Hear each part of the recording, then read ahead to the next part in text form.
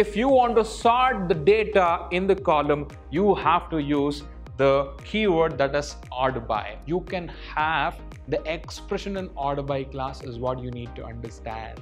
You can specify how exactly your data should get sorted in the column. There is no replication. So only unique values is what we call it as a distinct. This part is very, very important.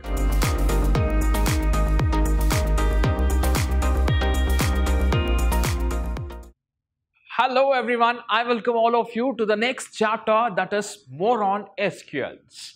What exactly I will be studying in this chapter sir, did we not study everything on the previous chapter which is related to SQL, right? So yes, my dear students, we have some of the concepts which we have left out. So that is what we are going to discuss in this chapter. Then what is that we are studying in this session? Let's have a quick look right? So this is what we are going to discuss in this session. So we are discussing mainly about order by. What is that? We are mainly discussing about the order by clause. That is what you need to observe here. So we have order by clause which will help me to sort my data in a different different way. So it can be ascending order, it can be descending order. Then how do I, what is the different possibilities that I have to use the by clause is what I'm going to study in detail in this session, right? So I will be discussing all this topic one by one in this session. I want all of you to be very, very attentive in the session. Let me start with the first one. So guys, why do I have this order by clause? Yes, of course, we all know that we have studied select clause. What is that select clause? We have the first clause that is select clause. Then we have from clause and then we have where clause. So in this select clause, I can select the column that I want from the table. I repeat for all of you, I have a table. So I have a table. I need to select the different columns that I want. So here in the select clause, I will be specifying which column I want. So the same way, I have from clause. What will happen in the from clause? I have to specify from which table I have to select these columns. Meanwhile, I have where clause. Where clause will help me if there is any condition. If there is any condition, I can specify in the where clause. So what exactly where clause will do apart from this condition? Please listen to me carefully. In the select clause, I will be selecting the column. So where clause will help me to select the particular row. So that's what you need to understand. So I have one more clause that is order by clause.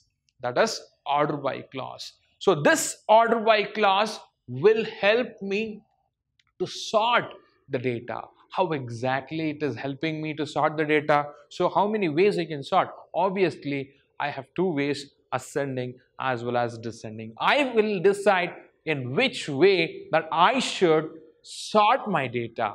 So please listen to me carefully. So what is the syntax for that? right? So let's have a quick look. So I will be writing the select clause and then column list. Along with that, I will write from clause and table name. That all of you will be knowing it. So then I will write where clause. If there is any condition, I will specify here.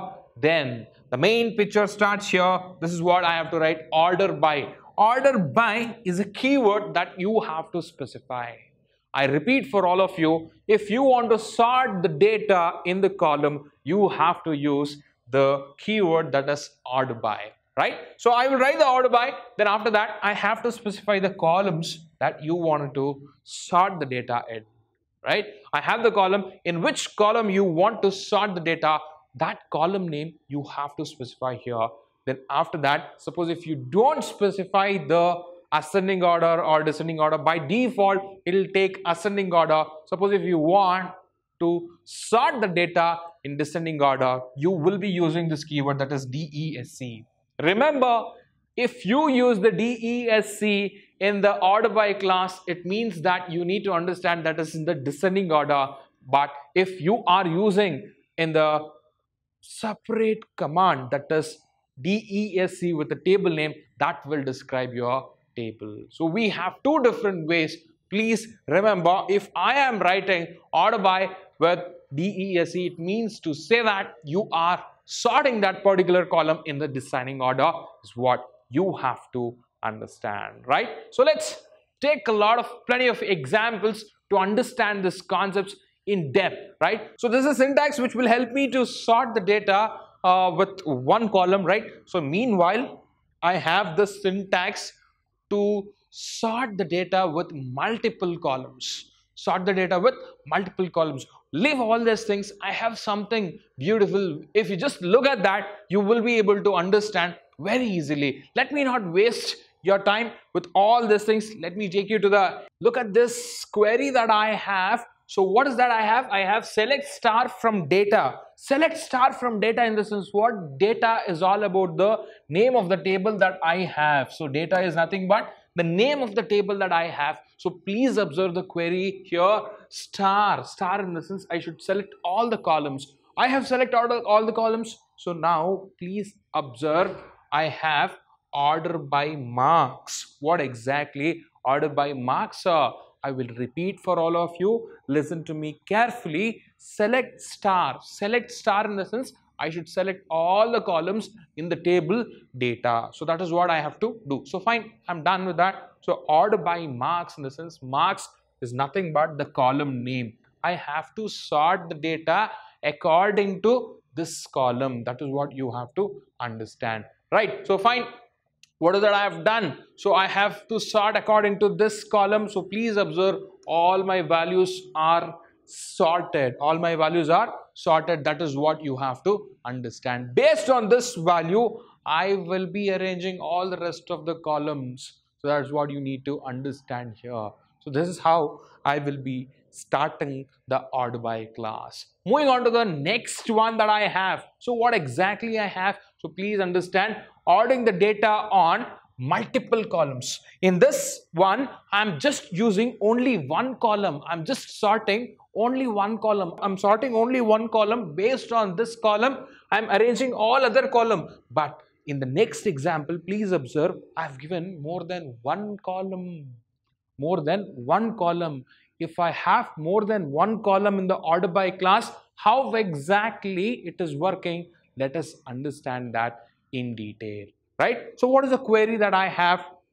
I have select star from data. So fine. So this I understood. So let us understand. So what exactly that I have here? Order by section. So please understand order by section ASC. ASC in the sense it should order the data whatever I have in the column section in ascending order. That is what you need to understand, right? Then after that I have one more column, I'm using comma here. I have one more column. So what is that column name that I have? I have marks. Marks should be arranged in descending order. That is what you need to understand. So fine, let's understand how exactly it is working. So what is the first column that I have to sort now? I have to consider the section first. I have to consider the section first. So fine. So this is the section. So I will sort all the data. I'll sort all the data in ascending order. So A, B, C. So it's in ascending order, right? So my data is sorted in ascending order. So as per this data, everything will be sorted, right? So that is the first thing. Then after that, I have one more. Marks in descending order. Marks in descending order. Please observe. So then how it will sort now? So first I have A. I have A. So for this, for this, it will come to this marks marks will be sorted in descending. Marks will be sorted in descending. So you got it. So I have A. So only for this A, the marks will be sorted in descending. So next it will go to the B. I have B. So for this B, the marks will be sorted. Then it will come to C. So the marks will be sorted. So like this, it will sort the data. So first, the complete column, whatever I have, so it will sort. Then it will consider this marks. So like that, so column by column, column by column, it will keep on sorting. That is what you have to understand. When I have multiple column, I will repeat for all of you one more time, listen to me. When I have to sort more than one column, the sorting will happen from this side. The sorting will happen from this side. The first column that will be sorted is section and then marks will be sorted. So how exactly the section will happen? So section, it will completely sort. Then after that, the marks, how exactly? So for each and every value that I have, so based on that, the marks will be sorted. So what is that you have given? You have given descending. So the value will be sorted in descending order. So that's what you have to understand, right? So this is how when you have multiple column in order by clause, so it works. Let's the next one that I have is ordering the data on the basis of an expression. So please observe the query carefully. So here I have given the select query. So uh, there is no nothing changed here so that you can observe select roll number, name, grade, section, whatever the column that you wanted to select. So you can give. So there is no issues on that. So in the same way, I will give. So I will give from where you want to select. So you will give from data you will give from data then after that whatever the condition that you want it in where clause you can give it so please observe this is very important this part is very very important order by section in ascending and also after that you are giving an expression. You are giving an expression. What is the expression?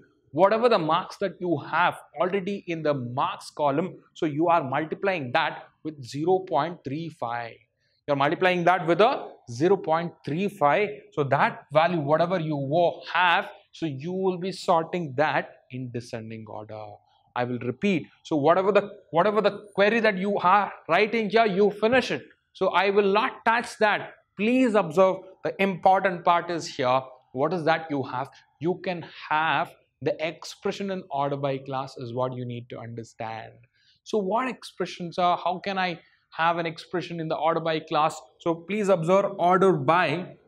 You can have the section, the column name that I have as section. You have the section column and you are sorting the data in ascending order, whatever you have in the section. So that is the first sort that you will do. Then after that, so you are you are giving an expression. What is that? So you have the column name called marks. So marks into 0.35 you are multiplying whatever the value that you have inside the marks okay so with 0.35 so then after performing this operation you are sorting that with the descending order uh, that is what you need to observe here. So please observe here.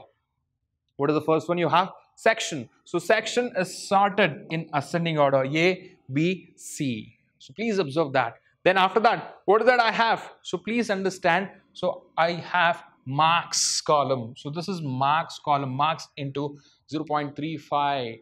So please observe that, right? So I have A. So whatever I have A, so it should be in descending order, right? So guys, I have. So 26, 24. Then again I have 34. So how? Because it is for B. So please observe here. I have B till here, right? So it's in the descending order, right? So then after that I have C. I have C. So this is how I will be selecting the by clause and also I will be performing the order by within expression. So this is what you need to understand when it comes to by, right? Moving on to the next one. Specifying custom sort order. Specifying custom sort order in the sense what? You can specify how exactly your data should get sorted in the column which should come in the beginning which should come in the second one which should come in the third one you can customize your table data you can customize the values whatever you have inside the column so how exactly we can do that sir so just have a look now so guys look at the query before you look at the table you will understand it very clearly select star from data. Select star from data. What is the data? Data is a table name. Star in the sense what? All the columns. Whatever you have inside the table, you are trying to select that, right? So after that, what is that you have? Order by field. Order by field. That is what you need to understand. So guys, order by field. So please observe order by field. Please observe project is a column name. Order by field. Observe project is a column name that I am giving here. Then after that, the first I have evaluated. First I have evaluated. Then I have pending. Then I have submitted. Then I have assigned. So I want the data in this particular order. First I want evaluated, then pending, then submitted, then assigned. I want the data in this order. So let's check how exactly this query is working here. So please observe, I have evaluated. Yes or no? Yes, I have evaluated here. In which column? In the project column. In which column I have? In the project column. So please observe here, this is what I have.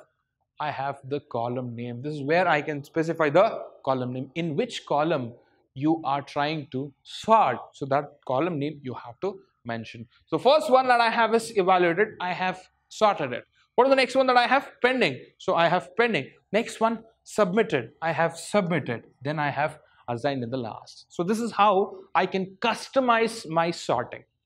This is how I can customize my sorting is what you need to understand, right? So moving on to the next one that I have, aggregate functions. So guys, what exactly this aggregate functions? Uh, I have uh, multiple values in my table. I have multiple values in my table. So with the help of these multiple values, I want to find out the aggregate result out of this multiple values. Say for example, uh, I need to calculate the average of the given number. So how do I calculate the average of a given number? So for that, I have a separate function. So I need to calculate the sum of the entire column. So how do I calculate? So for that, I have a function. So I need to calculate the number of rows that I have in the column or in the table. Please understand, I need to calculate the number of rows that I have in the table. So how do I calculate that? For that, I have a function called count. So like this, I have different, different functions which is already predefined which will help me to deal with multiple values to sum up, right? So what exactly it is, uh, let me discuss that in detail one by one. Right? So before that, please understand what is distinct and what is all. So distinct in the sense this option causes a group of function to consider only distinct values of arguments expression. Distinct values in the sense there is no replication. So only unique values is what we call it as a distinct. All in the sense this option causes a group of functions to consider all the values including duplicate values. We have two things that you have to remember. One is distinct, another one is all. So first you remember we have two things, two kind of values. What is that? One is distinct, another one is all. Distinct in the sense what? Distincts are the unique values. Unique values in the sense what? There is no redundancy. Say for example, I'm, I have a column called names. In that column, I can have the Ravi two times. Suppose if I have two times, I will take it only one time. So this one time value, whatever I have Ravi one time, so that is what I will call it as a distinct. Suppose if I take all the values whatever I have, even though the value is replicated, that is duplicated, so then I will call that which comes under all. So all will help me to include all the values, including the duplicate, but distinct will take only unique values. That is what you need to understand. So guys, by this, I have come to an end. In the next session, I will be discussing all the aggregate functions that I have in this chapter. So keep waiting for me. Until then, please practice all the order by clause that I have with the SQL queries. Thank you very much. Bye-bye.